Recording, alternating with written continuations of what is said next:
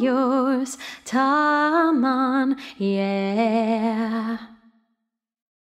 One happy birthday dot com.